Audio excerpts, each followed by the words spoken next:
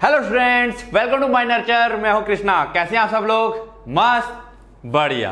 Exam चल रहे हैं. मज़ा आ रहा होगा. कुछ लोगों के एग्ज़ाम शायद हो गए हैं कुछ स्टेट में, शायद शेड्यूल के आगे पीछे. बाद बाकी कुछ लोगों के एग्ज़ाम चल रहे हैं. एक एग्ज़ाम हो चुका है. उसी एग्ज़ाम को शायद किसी ने उस एग्ज़ाम पे गौर नहीं किया. जो एक एग्ज़ाम हो गया, है ना फार्माकोग्नोसी का, उसको किसी ने गौर नहीं किया या यूँ कहूँ मैं, ठीक है आप लोगों ने एग्ज़ाम पे नोटिस नहीं किया। आप लगे पड़े हो, ये पढ़ना है, वो पढ़ना है, वो पढ़ना है। ना थंबनेल देख के मज़ा हो गया। अरे, सर तो आज घुटी देने वाले हैं। ऑफ़ कोर्स जो चीज़ 10-15 मिनट का वीडियो रहेगा, ज़्यादा टाइम नहीं लूँगा मैं। जो चीज़ बच्चा यहाँ पे बात समझ लेगा मेरी, कोई कंफ्यूजन नहीं रहेगी। है ना? सवाल मैं बता दूँ बच्चों का, सर, कितने पन्ने भरने हैं? तो अब जो मैं यहाँ बताने वाला हूँ, आपको पन्ने भरने ही नहीं है। आया मज़ा? पन्ने भरने नहीं है भाई। सच में नहीं भरने, मैं अभी प्रूफ दिखाऊँगा आपको। पन्ने नहीं भरने हैं। कुछ बच्चे कंफ्यूज थे कि, सर, ये भी पढ़ लें, वो भी पढ़ लें। हमारे सर ने ये भी करा दिया है, वो भी करा दिया नो डाउट प्रोफेशनल कोर्स में है। टीचर लोग थोड़ा एक्स्ट्रा कराते हैं। मैं भी जो मैंने कराया है, थोड़ा सा एक्स्ट्रा कराया है, चीज़ों को थोड़ा दायबाएँ लेके चले हैं। हमको एक डाउट था कि पता नहीं पेपर कैसा आएगा। बट जो पेपर आया है बच्चों, वो एकदम हलवा आप कहोगे, सर, हलवा पढ़ने से पता चलता है। यस बिल्कुल हलवा है। हलवा कैसे है, मैं आपको एक चीज़ बताऊँगा प्रूफ दूँगा मैं इसके बाद। अगर आप लोग कायदे में सिलेबस को याद कर लें, कायदे में, सिर्फ़ सिलेबस की हेडिंग्स को याद कर लें, है ना? सिलेबस में दे रखा अगर अर्जुना, उसकी फैमिली स्पीसीज बस खत्म। अगर इस तरीके से भी सिलेबस को याद कर लेंगे, आपके 50 यानी जो 80 नंबर पेपर हो रहा है 40 से 50 नंबर कहीं नहीं गए आपके। क्या सर वाकई में सुनाई दे रहा है मेरे को? यस वाकई में, है ना? कम पढ़कर नंबर आएँगे ज़्यादा। सर देने वाले हैं जादू की पुड़िया। चलो देखते हैं। इसको समझ लिया तो किसी एग्ज़ाम में फेल होंगे। यस बात को समझो। जो नया एग्ज़ाम पैटर्न आया है, वो बहुत आसान कर दिया गया है, अगर कायदे से देखोगे तो। और नहीं समझोगे, पढ़े रहोगे, पहले होता था। हमें पूरी कहानियाँ लिखनी है, सब कुछ लिखना है। ठीक है, अब तो चीज़ें टू द पॉइंट है। कैसे आओ समझते हैं? चलें तैयार हो? शुरू करें? कुछ मिलने वाला है? यस अरे ये तो पेपर है है ना? तो चलो पेपर मेरे ख्याल से सब लोग अगर ये जिन लोगों का पेपर आ चुका आई थिंक पेपर क्लियर है ये। कैमरे में देख लूँ मैं पेपर क्लियर आ रहा है। आ, हाँ पेपर समझ पा रहे हो और जिन लोगों के जिन लोगों को समझ में नहीं आ रहा है वो लोग पेपर निकाल लें। मेरी समझ से पेपर समझ में आ रहा है ये। ये इस बार का पेपर है। है ना? कौन सी ईयर है ये? 2022 में, ठीक है ना? जो अपना यूपी का यूपी में हुआ है, उसका एग्ज़ाम है ये। किस तारीख को हुआ था ये? ठीक है ना? तो ओके शायद दो तारीख को हुआ है ये। समझ लेते हैं इसको मैक्सिमम मार्क्स अस्सी नंबर का था, ठीक है ना? बहुत से बच्चों ने कुछ मॉडल पेपर खरीद लिए होंगे, कुछ लोग इधर उधर से इन्फॉर्मेशन ले रहे होंगे, ठीक है? कुछ टीचर्स लोग यूट्यूब वगैरह पे चीज़ें अपलोड कर रहे हैं। बहुत अच्छी बात है। आप लोगों को कहीं ना कहीं से हेल्प मिल रही है। तो देखो, चीज़ें वही हैं। पैटर्न मैं बता चुका था। बिल्कुल डिट्टो वही पैटर्न है, जैसा कि मैंने समझाया था। ठीक है? पहले हमारे पास छह क्वेश्चन आते हैं पाँच नंबर के। अब बच्चों, देखो यहाँ पर। ये पाँच नंबर का क्वेश्चन है। समझना? सवाल था पाँच नंबर का, सर, कितने पेज भरेंगे? पूछ पूछ के बच्चा परेशान। और मेरा सवाल एक ही होता था क्या होता था? मैं कहता था, बच्चों, देखो। क्या देखो? तुम्हारे पास क्या है? सिलेबस है। सिलेबस में क्या क्या पूछ रहा है? Biological source, chemical constant. ठीक है। और क्या पूछ रहा है?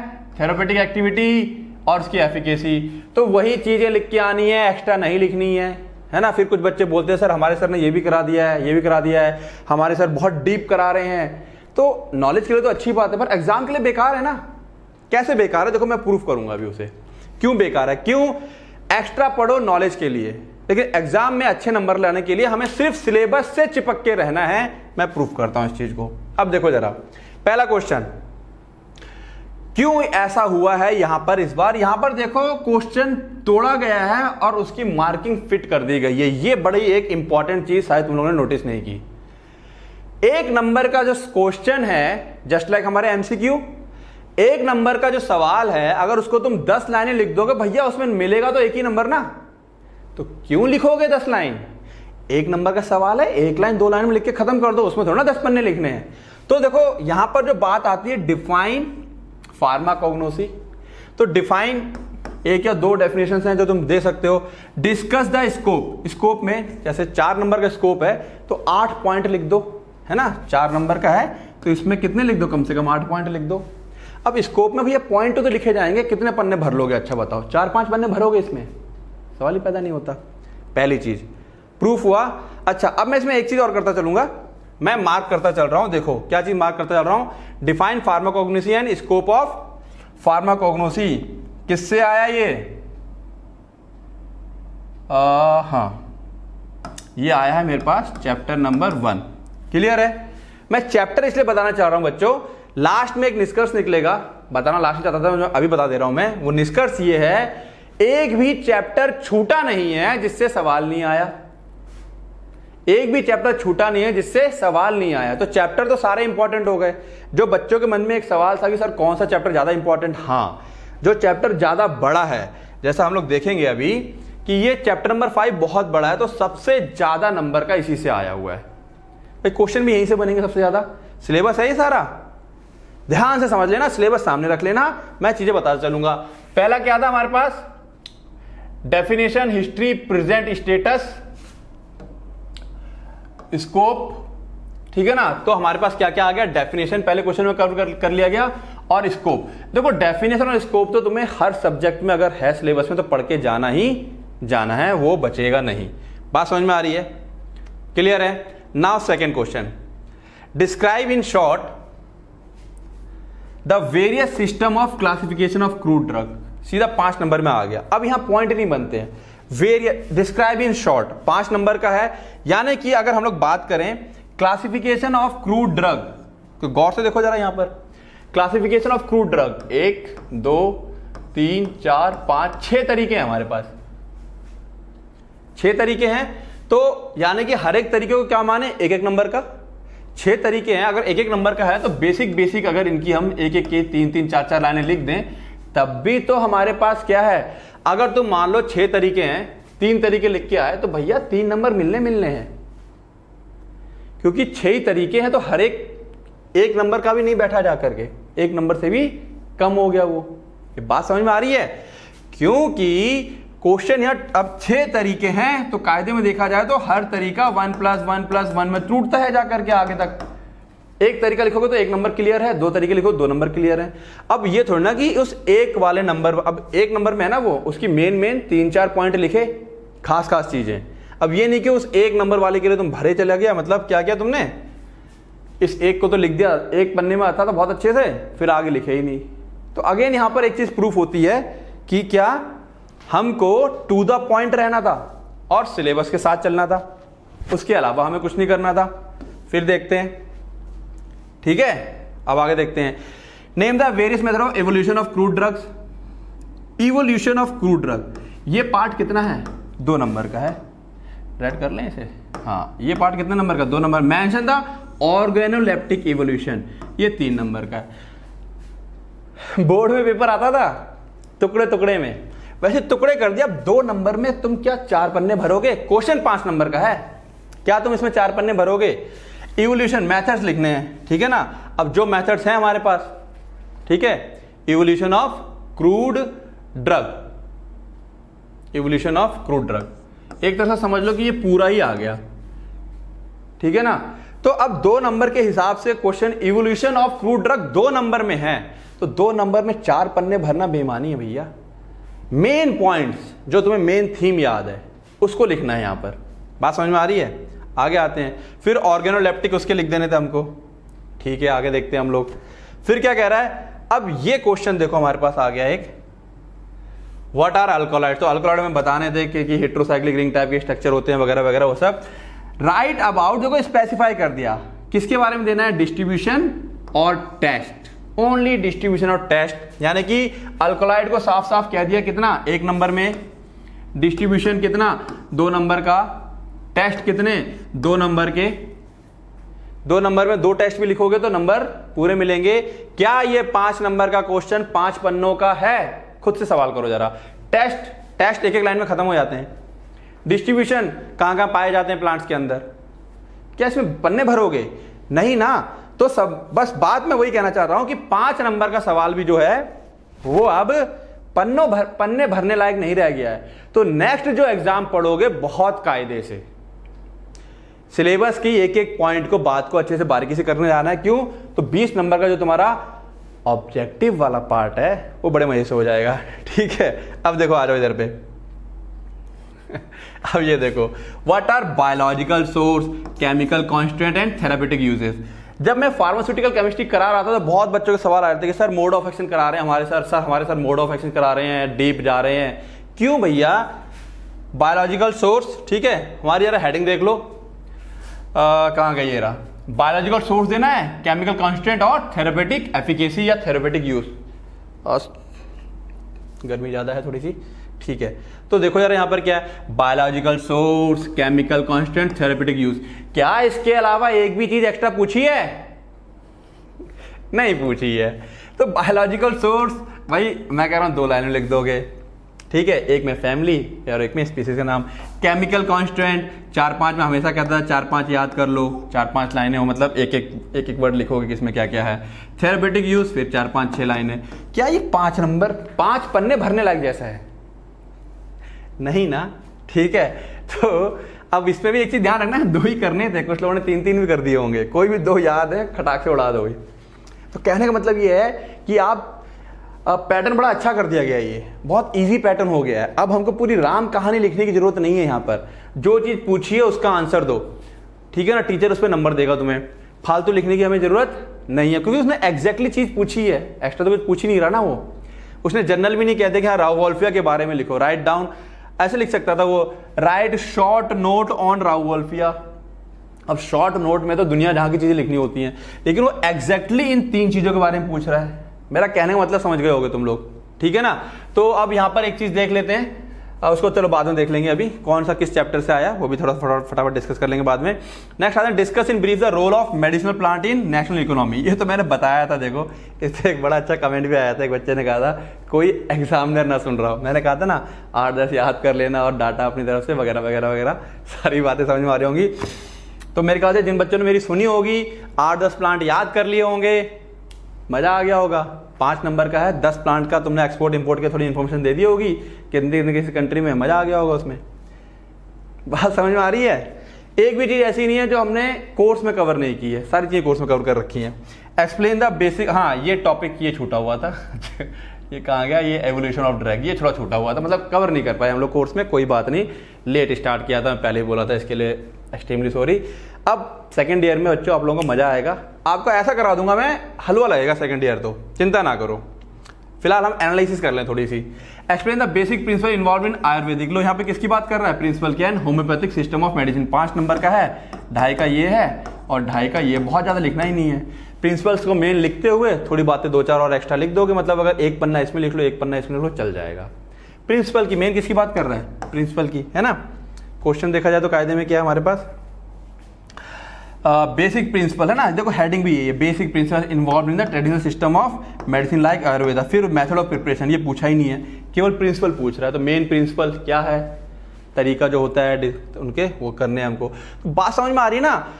क्या कोई चीज़ सिलेबस से बाहर आई है? है ना? हैं सर बड़े एक्साइट अरे एक्साइट भैया, जो मैं बोलता था, पूरा साल बोलता रहा। सिलेबस से चिपको सिलेबस से चिपको। सिलेबस में जो दे रखा है, बस उस पर फोकस करना है। और देखो वही चीज़ें आ रही हैं।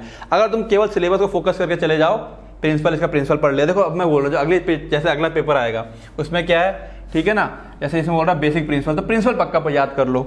ठीक है? इसमें क्या बोल रहा है? यूज़ एस अच्छा इसमें जनरल बातें हैं, सोचा, ये जनरल बातें होगी तो इसमें जनरल बातें लिखनी पड़ेंगी। ठीक है? अब इसमें जैसे ये बोल रहा है क्या? बायोलॉजिकल सोर्स तो इसमें मेन मेन बायोलॉजिकल सोर्स और वो सब चीज़ें याद कर लेना। तो जो हेडिंग है, केवल और केवल, वही याद करके तुम्हें जानी है, उसके अलावा एक्स्ट्रा कुछ नहीं करना। क्लियर हुई बातें। आगे आते हैं। चलो देखें जरा। अब तीन नंबर वाले सवाल। ये तो बहुत ही हलवा कर दिया तीन नंबर वाला। पाँच नंबर वाला तब भी सही था। Discuss the present status of pharmacognosy तीन नंबर में, है ना स्टेटस तो ये देखो कहीं ना कहीं जो चैप्टर नंबर वन है स्टेटस स्कोप और डेफिनेशन लगभग सब कुछ आ गया इसमें। स्टेटस स्कोप उसने ऐसा सवाल ही नहीं किया हिस्ट्री वगैरह की जिसमें कहानी लिखनी पड़े। टू द पॉइंट वाली बातें। क्लियर है? ठीक है, यहाँ स्टेटस है, यहाँ थोड़ा सा आप एक या दो पन्ना के लाइक में स्टेटस को टू द पॉइंट लिखना चलोगे तो दस बारह पॉइंट में खत्म हो जाएगा। तो वो भी आपका एक डेढ़ पन्ने में भरेगा, उसके बाद तीन नंबर का है, पाँच नंबर का नहीं है। ठीक है? आगे आते हैं। चलो देखें क्या बोल रहा है। व्हाट इज़ अडल्ट्रेशन अडल्ट्रेशन वाला एक क्वेश्चन पीछे आ चुका है। Describe the brief the adulteration of crude drug with example तो अडल्ट्रेशन के बारे में आ गया। One plus two. तो यानी कि एडल्ट्रेशन को डिफाइन करना है, ये पार्ट एक ही नंबर का है तो एक नंबर के हिसाब से आंसर देना था, एक या दो लाइन में। बाकी describe brief in the adulteration of crude drug with example adulteration देते हुए एक एक दो दो एग्जांपल देते हुए दो नंबर का। ये पार्ट कितने का है तुम्हारा? दो नंबर का है। तो पास होना एकदम आसान। बात समझ में आ रही है? क्लियर है? What do you know about the herbal cosmetic ठीक है, ये एक जनरल क्वेश्चन आ गया हमारा। हम कह सकते हैं भाई, क्या आ गया ये? हर्बल कॉस्मेटिक का ठीक है? तो ये रहा हमारे पास हर्बल फॉर्म हर्बल कॉस्मेटिक है ना? ये एक जनरल क्वेश्चन दे दिया इसमें। तो हर्बल कॉस्मेटिक में तुम क्या करोगे? इसके बारे में मैंने जैसे बताया था जनरल क्वेश्चन आया है। कुछ थोड़ी सी जनरल बातें लिख करके कोई एक पकड़ लो। एलोवेरा जेल पकड़ा एग्ज़ाम्पल के तौर पे इसका सोर्स ये ये और ये दे दिया दो तीन चीज़ें। बस काफ़ी है। और अगर हर्बल कॉस्मेटिक के बारे में ज़्यादा नहीं लिख सकते हो तो इसमें कोई दो पकड़ लो। एलोवेरा जेल और अलमंड ऑयल जो तुम्हें दो आते हैं। तीन नंबर का क्वेश्चन है, तीन पकड़ लो, चलो। कोई तीन पकड़ करके उनका source chemical constant commercial preparation therapeutic and cosmetic uses देखो, जो मैं बता रहा हूँ, यहाँ पे यही आंसर्स हैं। और अगर किसी ने यहाँ से आंसर थोड़ा हटके लिखे हैं तो ठीक है नंबर मिल जाएँगे, लेकिन आगे के जो एग्ज़ाम बचे हुए वहाँ बहुत ज़्यादा ध्यान देना। इधर उधर की बातों में नहीं पढ़ना टू द पॉइंट रहना। आगे आते हैं। Right a test for identification of glycoside glycoside के टेस्ट जो कई सारे कर रखे हैं, तीन नंबर के तीन टेस्ट दे दो, खेल खत्म। ठीक है ना? तीन टेस्ट के लिए आप बताओ कितने पन्ने भरोगे? सच बताना, तीन टेस्ट लिखोगे अगर लाइन में, उसके बारे में दो दो लाइनें भी लिखोगे इससे इसे रिएक्ट कर रहे हैं, कितने पन्ने भरोगे? Right the biological source and therapeutic uses of any two केवल दो बातें लिखनी है सोर्स और थेरेपेटिक यूज़ सोर्स और थेरेपेटिक यूज़ डेढ़ और डेढ़ नंबर खत्म. डेढ़ नंबर के लिए कोई दो पकड़ लो, तुलसी, सब लोग पढ़ के गए होगे तुलसी के बारे में. ओपियम कोई नशेड़ी तो नहीं है। ठीक है? तो कोई दो पढ़ने कितना, डेढ़ डेढ़ नंबर में कितना पन्ना भरोगे क्या? सवाल क्लियर हो गए? अच्छा जो मैंने अपना लास्ट लेक्चर दिया था इसकी, इसी के बारे में एग्ज़ाम के बारे में और फार्मास्यूटिकल केमिस्ट्री का जो मैंने बनाया था, उसमें मैंने स्पष्ट कहा था ये बात कि क्वेश्चन के हिसाब से आंसरिंग करनी है टू द पॉइंट बातें पूछी गई है तो उसमें बेटा एक्स्ट्रा क्या लिखोगे? कुछ नहीं लिख सकते एक्स्ट्रा क्लियर है? तो ये लेक्चर देखते रहना पूरा। अभी अब आते हैं और इंटरेस्टिंग आने वाली है। अगर यहाँ तक आ गए हो तो टिके रहो। पंद्रह बीस मिनट, आधे घंटे का हो सकता है, मुझे भी नहीं पता। कोशिश करूँगा थोड़ा जल्दी जल्दी निपटा दूँ। लेकिन थोड़ा डिस्कस करना हमको बातें। डिफाइन एनी थ्री एक, दो, तीन, चार, पाँच। लो, तीन तो ऑप्शन में आ गए। और सब एक एक नंबर के हैं। और क्या है? डेफिनेशन बताओ। इसकी एक लाइन की डेफिनेशन कार्डिटोनिक हार्ट को ठीक करने वाले लग्जेटिव पेट ठीक करने वाले डायरेटिक पेशाब कराने वाले। कितने पेज भरोगे बताओ अच्छा? एक नंबर के लिए कितना पेज भरना चाहोगे? हाँ बच्चे में सर, हम तो बहुत बहुत लिख के आए, हमने ये चीज़ ध्यान नहीं दी। ध्यान दे दो भैया। कैसे एग्ज़ाम को अटेम्प्ट करना है? ठीक है ना? क्योंकि नया एग्ज़ाम का पैटर्न था, बहुत सारे सवाल थे बच्चों के, जो मैंने लगभग डाउट मेरे को यही था कि कुछ ऐसा ही होगा। मैंने जो फार्मास्यूटिकल केमिस्ट्री का इंपॉर्टेंट क्वेश्चंस के रूप में एक लेक्चर बनाया था, उसमें यही सारी बातें डिस्कस करी थी मैंने। और फिर अब सामने दिखा करके डिस्कस कर रहा हूँ मैं कि देखो, यही आया है। ठीक है? ओके ना right the biological source and chemical constant of oxytocic drug अब देखो जरा। ऑक्सीटोसिक ड्रग ये अर्गोट है यहाँ पे हमारे पास। क्या पूछा है? बायोलॉजिकल सोर्स और केमिकल कॉन्स्टेंट क्या कोर्स से बाहर कोई चीज़ एक्स्ट्रा पूछ ली है? कि नहीं इसका कल्टीवेशन बता दो, कि नहीं इसका फला बता दो, नहीं इसका फला बता दो। बच्चों ने जब पढ़ा रहा था, इतना ज़्यादा क्वेश्चन करिए ना, एक बार को मेरे को डाउटफुल लग रहा था, यार पता नहीं सब टीचर कराने ऐसे नहीं मैं कम करा रहा हूँ। सही में मेरे को डाउट हुआ था, लेकिन मैंने कहा, देखेंगे इसको, कुछ होगा तो फिर लेटर लिखेंगे कि जब इतना ही चीज़ बोली गई है तो हम इससे ज़्यादा क्यों पढ़े? भाई, लिख के दो ना कि हाँ और डिटेल में पढ़ना है इसको, ठीक है? यहाँ पे लिख सकते थे ब्रीफ इंट्रोडक्शन अबाउट जब ब्रीफ इंट्रोडक्शन कर देंगे तो उसमें सब आ जाता है, लेकिन जब पर्टिकुलर चीज़ें पूछ रहा है तो उतनी ही चीज़ें पढ़नी है। बात समझ में आ रही होंगी। ठीक है? Right in short note of any of the two अब देखो शॉर्ट नोट बोल दिया। अब शॉर्ट नोट में भी मैंने एक बार बात पहले समझाई थी डेढ़ डेढ़ नंबर का है। कोई दो लिखो सैना ले लो, ये भी डेढ़ नंबर का है। ठीक है ना? कोई भी दो लिखने, डेढ़ डेढ़ नंबर के हैं। तो डेढ़ नंबर में सैना विंका, टर्मेरिक, क्या लिखोगे भैया? Senna vinca, turmeric. डेढ़ नंबर में ऑब्वियस ही बात है सैना विंका और टर्मेरिक। जैसे ये सैना है। तो क्या चीज़ें पढ़ी, पढ़ाई गई है हमको? सोर्स केमिकल कॉन्स्टेंट और थेरेपेटिक यूज़ तो तीन चीज़ें तो लिखोगे इसके बारे में? शॉर्ट नोट का मतलब समझ में आ गया ना? भाई, जो चीज़ हमको पढ़ने को कहा गया, वही तो लिखा। अब ये तो ना फलाना ढिमका, उसके रिएक्शन मार, दुनियादारी, लिखे चले जा रहे हो, क्या फ़ायदा उसका? हमारे कोर्स में जो है, हम केवल उतनी चीज़ लिखेंगे। और है भी तो क्वेश्चन कितने नंबर का? तुम भी कह रहे हो सर आपकी बात तो एकदम सही है, डेढ़ नंबर का क्वेश्चन है, डेढ़ नंबर में क्या चार पन्ने भरोगे? गलत बात। ठीक है। The therapeutic and cosmetic uses again use बोल दिया, यही हमारे उसमें भी है। Any two sandalwood oil aloe vera gel oil therapeutic and cosmetic use ठीक है। ये आ गया हमारे पास। ये देखो। आ, ये। कॉस्मेटिक यूजेस है यहाँ पर और थेरापेटिक भी है। किसके लिए पूछ रहा है? सैंडलवुड और एलोवेरा जेल तो भाई जो कॉस्मेटिक यूज़ इसमें है केवल क्या इसमें कहीं पूछा किसी का कॉस्मेटिक यूज़ नहीं पूछा ना। जबकि कॉस्मेटिक में इस्तेमाल होते भी होंगे लेकिन नहीं पूछा।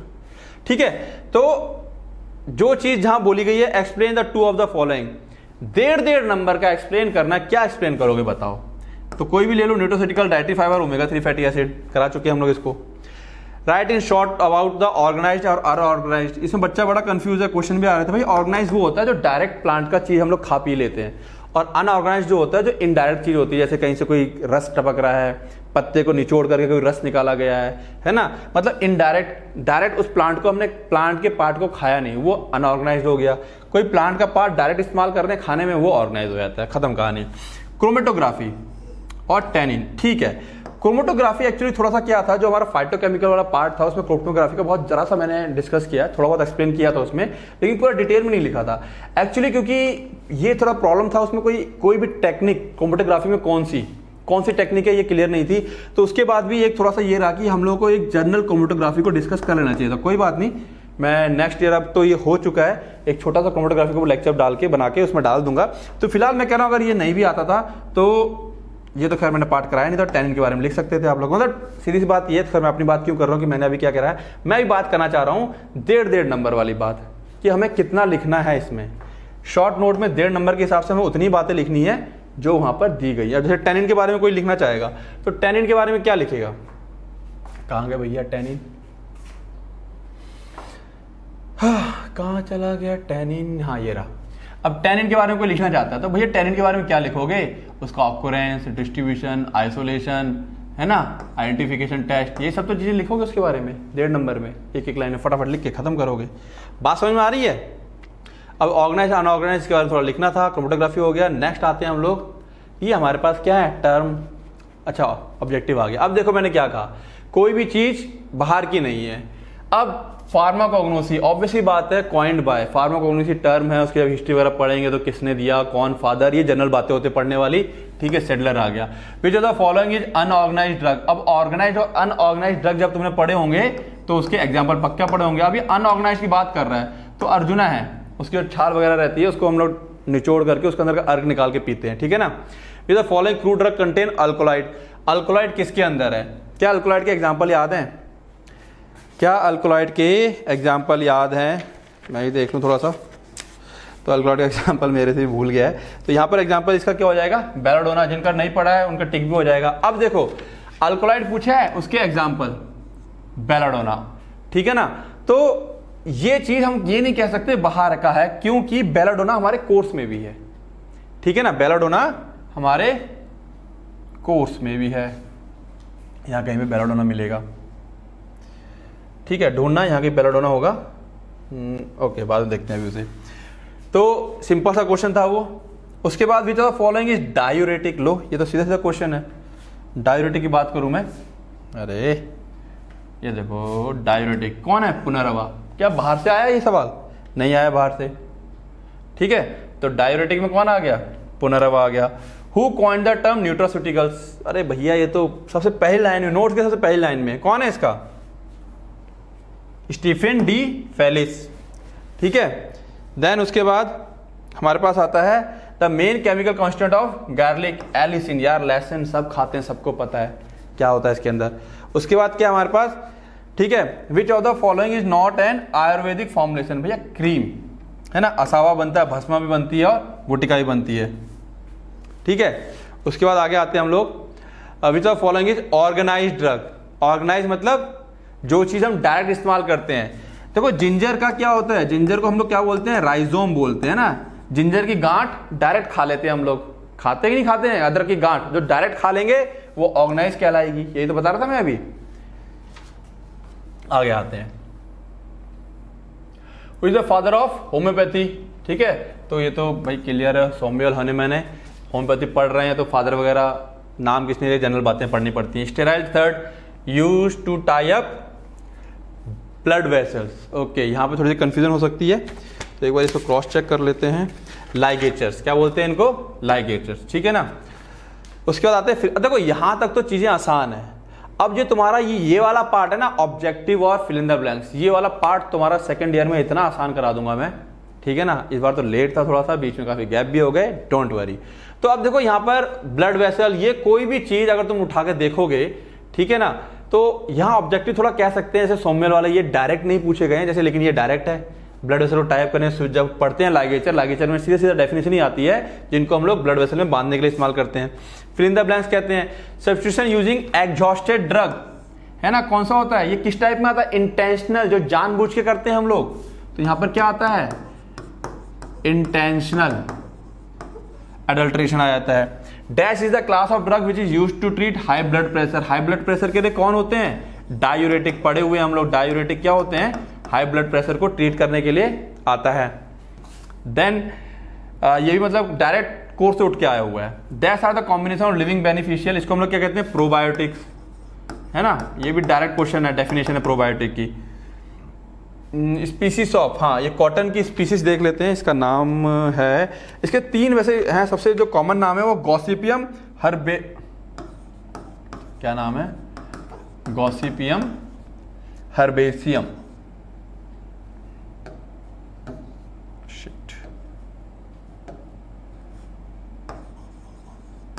हर्बेसियम और दूसरा क्या है? Gossypium barbadense. है ना? बर्बा डेंसे तुम्हारे ये चेक भी हो जाएँगे। और ये क्या है? गॉसिपियम हर्स्यूटियम करके नाम है। हर्स्यूटियम करके नाम है इसका। ठीक है तो तीन है कोई भी एक नाम दे दोगे, चल जाएगा। ठीक है ना? ये भी डायरेक्ट तुम्हारा उठ के आया है। कॉटन के लिए हम लोग इस्तेमाल करते हैं ना। कॉटन के हेयर कॉटन में इस्तेमाल जो सीड होते हैं, उसके हेयर्स होते हैं, जो एब्जॉर्बेंट कॉटन कोर्स में था ये अपने। डायरेक्ट किस स्पीसीज से बनता है? Cinchona is an cinchona is an dash drug अब यहाँ पर है ऑर्गेनाइज है या अनऑर्गेनाइज तो सिंकोना क्या होता है? छाल होती है, उसको फिर अर्क निकालते हैं तो ये क्या हो जाएगा? अनऑर्गेनाइज हो जाएगा। ठीक है ना? गोल्ड बीटर स्किन टेस्ट कितना किया कितना किया, ये तो ऐसे ही याद हो गया। गोल्ड बीटर में खाल के बारे में बात करता था। किसके लिए होता था ये? टेनिन्स किसके लिए होता था ये? टेनिन्स के लिए। डायरेक्ट क्वेश्चन है ये। ठीक है ना? The tea leaves obtain from the plant भैया टी वाला तो डायरेक्ट है ना? टी वाला जो वो था इसके अंदर हमारे पास। देखो, बता दू मैं। टी वाला तो डायरेक्ट अपने पास यहाँ पे टी लीव से डायरेक्ट आया हुआ है ये क्वेश्चन है ना? किस प्लांट से है? क्या नाम है इसका? कौन बताएगा? ठीक है? कहा गया कहा गया? ये रहा। टी लीव्स के लिए है हमारे पास जो प्लांट है, वो है कमेलिया सेनेंसिस क्या नाम है? कमेलिया साइनेंसिस क्लियर है? ठीक है? देन आगे आते हैं हम लोग। Withania somniferum belong to family direct question है विद्यानिया सोमनीफरम का, है ना? क्या फैमिली है इसकी? सोलनेसी क्या फैमिली है इसकी? सोले नेसी। ठीक है? सिन्नामोन को हिंदी में क्या कहते हैं? दालचीनी। क्या कहते हैं? दालचीनी। शार्क लिवर ऑयल विटामिन कौन सा होता है? विटामिन ए ठीक है ना? तो ये 20 क्वेश्चन तो ये क्वेश्चन ऐसे थे जो पता होंगे तो आते हैं। और ये डायरेक्ट क्वेश्चन है शार्क लिवर ऑयल वाला। है ना? देखा होगा, अगर तुम लोगों ने नोटिस किया होगा तो ये डायरेक्ट क्वेश्चन है। कहाँ गया कहाँ गया? ये रहा शार्क लिवर ऑयल क्या है? विटामिन कौन सी विटामिन आती है? ठीक है ना? अब देखो यहाँ फटाफट में तुम लोगों का ज़्यादा टाइम लेता हूँ और कुछ चीज़ें डिस्कस करके इसको निचोड़ इसका मैं दे देता हूँ। लेक्चर थोड़ा सा लंबा हो गया है। देखना ज़रूर बच्चों पूरा इसको, ठीक है ना? मैं फिर कह रहा हूँ। फटाफट इसको मैं एक निचोड़ लेता हूँ मैं और वो निचोड़ क्या है इसका? वो निचोड़ ये है कि वो अरे हाँ। वो निचोड़ ये है जो मेरे को करना था। ओके तो ये देखो। यहाँ पर ये किससे आया? This is from chapter one describe the short classification of crude drug तो क्लासिफिकेशन ऑफ़ क्रूड ड्रग कहा गया कहा गया? ये रहा। चैप्टर नंबर टू है ये। चैप्टर नंबर टू है ये। Name the various method of evaluation chapter number third है ये। What are alkaloid chapter number I think this is the four ठीक है? This is chapter number four biological source chapter number five then आगे आते हैं हम लोग। Sandalwood aloe vera gel और ऑयलिव ऑयल ये है हमारे पास ऑयलिव ऑयल ओके सैंडलवुड ये आ गया चैप्टर नंबर इलेवन अच्छा ये क्वेश्चन ऊपर छूट गए कुछ? ओके आगे आते हैं। अगेन चैप्टर नंबर ये रहा फाइव ठीक है अगेन अरे अरे अरे अरे। हाँ यहाँ पे आ गए। प्रेजेंट ये chapter number one adulteration I think chapter number two है ये। Do you know about herbal cosmetics herbal cosmetic herbal cosmetic herbal cosmetic chapter number eleven ठीक है right the test of admit glycoside chapter number four biological source therapeutic of any two gokhru tulsi opium chapter number five chapter number five से काफ़ी आए हुए हैं question card कार्डिलक्सिटी again chapter number five है। ठीक है biological chemical constant of oxytocic chapter five ठीक है? Right short any two chapter number five ठीक है? ये चैप्टर नंबर इलेवन हमने देख लिया था न्यूट्रास्यूटिकल्स ये कौन सा चैप्टर है?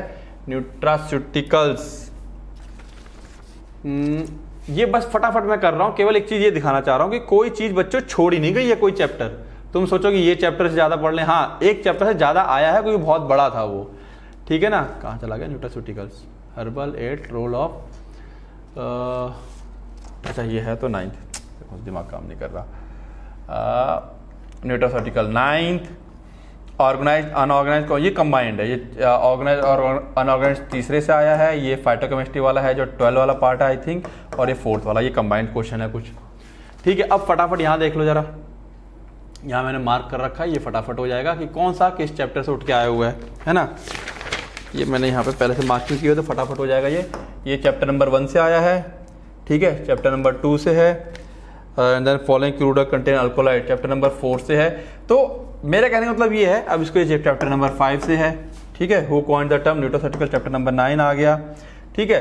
तो गार्लिक चैप्टर नंबर फाइव आ गया। फाइव से थोड़ा सा कंटेंट ज़्यादा आया है। फाइव से थोड़ा कंटेंट ज़्यादा आया है। तो पूरा चैप्टर ये हमने डिस्कस कर लिया यहाँ पर। तो बच्चों, यहाँ से क्या डिस्कस आया?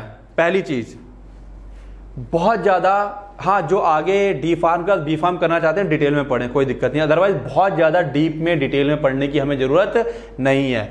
सिलेबस पे खास तौर से चिपकना है। सिलेबस पर खास तौर से चिपकना है खास तौर से ध्यान देना है। और जो हेडिंग्स हैं, उसके अलावा एक चीज़ फालतू नहीं पढ़ोगे। अगर एग्ज़ाम में अच्छे नंबर चाहिए तो। नॉलेज के लिए पढ़ सकते हो एग्ज़ाम के लिए नहीं पढ़ोगे।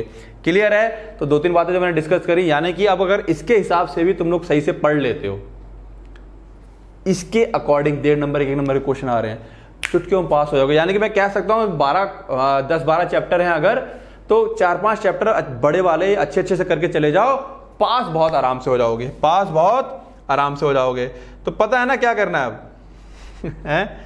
तो पहली चीज़, सिलेबस को सामने रखोगे। सिलेबस बहुत बड़ा मायने है। डीप नहीं जाओगे, बहुत ज़्यादा।